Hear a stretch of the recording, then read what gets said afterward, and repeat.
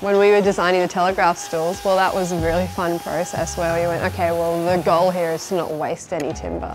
You've got two stools from one log and they interlock. We burn the outside of the stools. That's called shou sugi ban and that's a Japanese technique for preserving timber.